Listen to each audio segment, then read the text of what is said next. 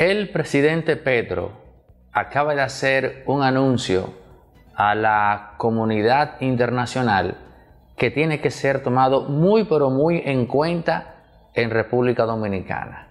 Acaba de revelar que se perdió un millón, oigan bien, alrededor de un millón de dispositivos de armas, municiones y otros utensilios que él dice que perfectamente se pudieron eh, vender desde allí, pero que también pudieron llegar a grupos insurgentes y que él sospecha que Haití, y es ahí donde se hace la conexión, Haití pudo ser el principal destino de toda esa panoplia militar perdida.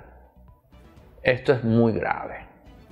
Porque si fuésemos a dar esto por consumado, entonces de lo que estamos hablando, por si usted no lo sabe, no es solo de un simple robo o un simple hurto. No se trata de lo grandilocuente que suena la cantidad, un millón.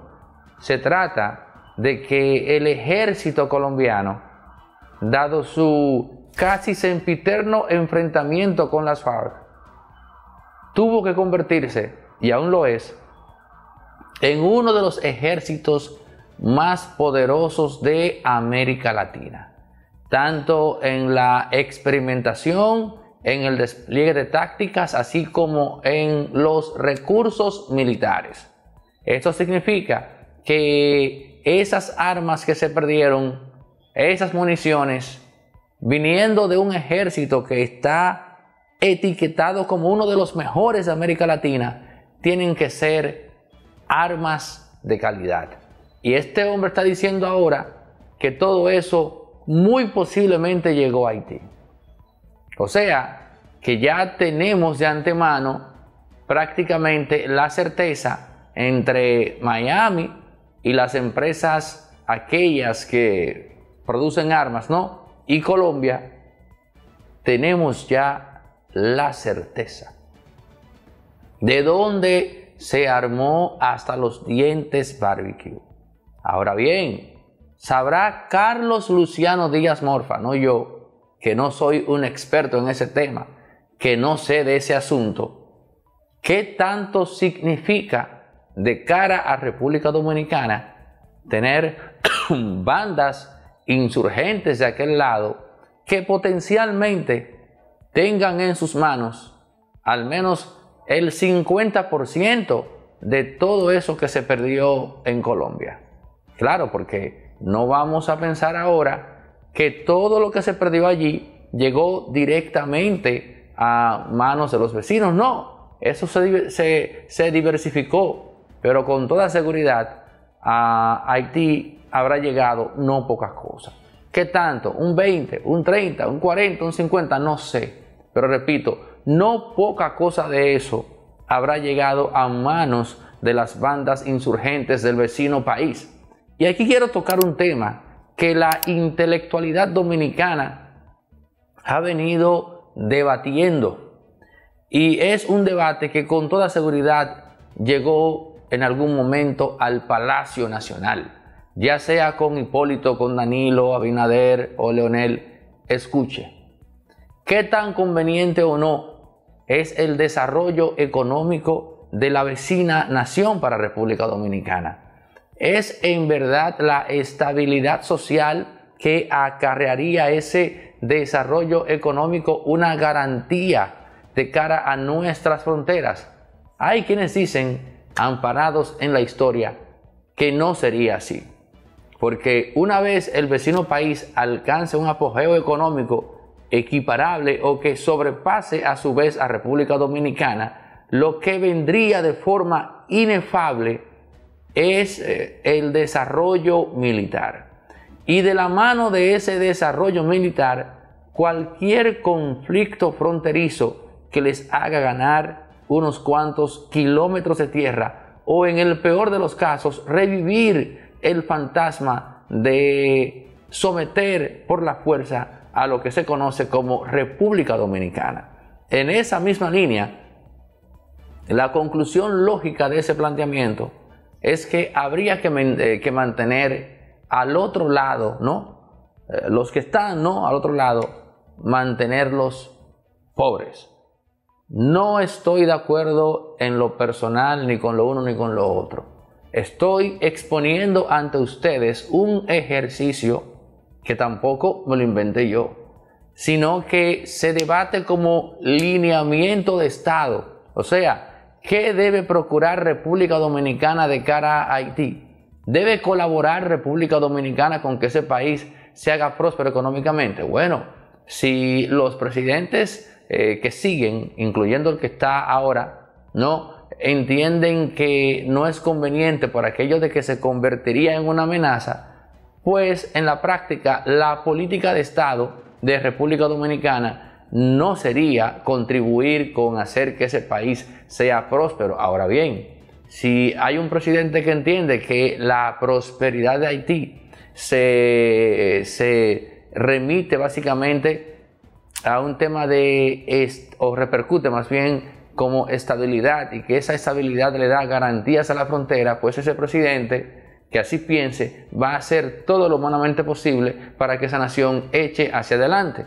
Por eso es que es importante este planteamiento y la respuesta que se le dé a este debate, que lo comparto con ustedes para que me dejen su comentario en la cajita para esos fines. ¿Nos conviene tener un Haití estable? o nos conviene tener un Haití poco menos agitado de lo que está actualmente en el entendido de que una nación así de débil no representa una amenaza para RD a nivel militar? Responda usted porque ese es un debate de Estado al más alto nivel. Así como el tema aquel que planteó Henry Kissinger en su famoso y polémico informe el memorándum de seguridad nacional, el, famoso memorándum, eh, Kissinger, en donde habla de cuál es la estrategia que se debería trazar desde Estados Unidos de cara al resto del mundo, sobre todo cuando se trata de los países emergentes, de los llamados países del tercer mundo, que Kissinger entiende y asume, según se explica en ese informe, que esos países que están sobre recursos que ellos no tienen la madurez tecnológica para explotarlos y sacarles provecho, pero que sin embargo el imperio norteamericano en aras de su propia supervivencia necesita garantizarse para sí tener conexión directa con esos recursos para extraerlos, ¿no? Y sacar el beneficio correspondiente. Pero para que eso se dé, tiene que mitigar, entre otras cosas, las explosiones demográficas que son a su vez caldo de cultivo para la inestabilidad que a su vez hace inviable una forma de interacción que le permita al imperio extraer esos beneficios o esos recursos naturales. Y ahí viene entonces el tema aquel de la necesidad de aplicar distintas políticas públicas que vayan dirigidas a mitigar las explosiones demográficas. De ahí nace el patrocinio o el respaldo del Departamento de Estado a las políticas públicas en distintos países de América Latina que van focalizadas a regular la tasa de natalidad. Estoy yendo de lo macro a lo específico. Y este caso que cité, que es histórico y ya conocido porque ese informe se desclasificó a finales de los 80, principios de los 90, tiene un símil directo con este debate local. ¿Cuál es la orientación política que le va a dar el, estadista de turno o el que está ahora a este asunto? ¿Nos conviene que Haití mejore económicamente? Sí. ¿O nos conviene más bien que la nación del lado siga siendo pobre? ¿Sí o no? ambas situaciones. Hay una que tiene una repercusión directa que no hay que ser adivino, y es lo que está pasando ahora. Pero la otra, hay quienes ponderan, hay quienes plantean que una nación de al lado próspera se convertiría a mediano plazo en una amenaza ineludible para República Dominicana. Y ciertamente la historia ha respaldado eso en sentido amplio. No ni siquiera naciones que compartan una misma isla. No, naciones que simplemente son competidoras. Si hay una que se le va adelante a otra en un punto X, pues va a utilizar eh, la fuerza militar para, para imponerse a la otra. Inglaterra hizo eso con la famosa política de la talasocracia.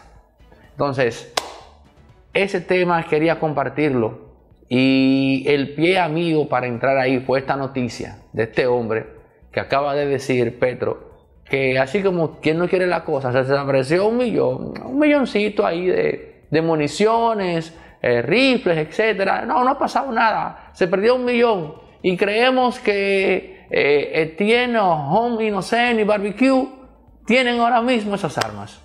Pero qué personaje es Gustavo Petro. Eh. Qué personaje tan y o más pintoresco es este hombre.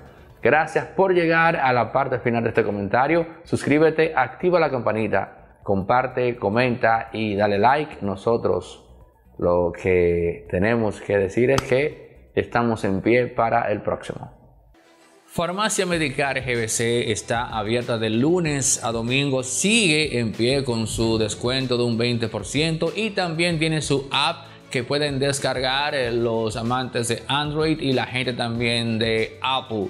Farmacia Medicar GBC, la de nosotros los dominicanos.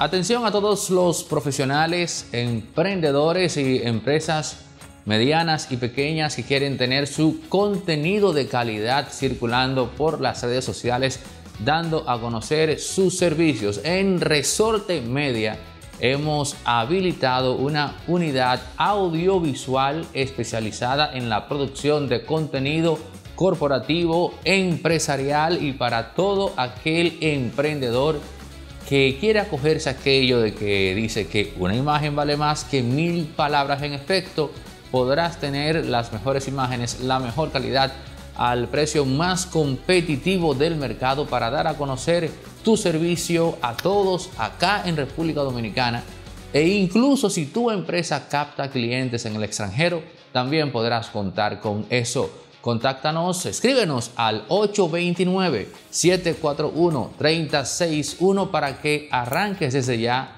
a colgar contenido en tus redes sociales con la mejor calidad audiovisual posible, la que Resorte Media pone a tu disposición con el presupuesto más eh, asequible del mercado.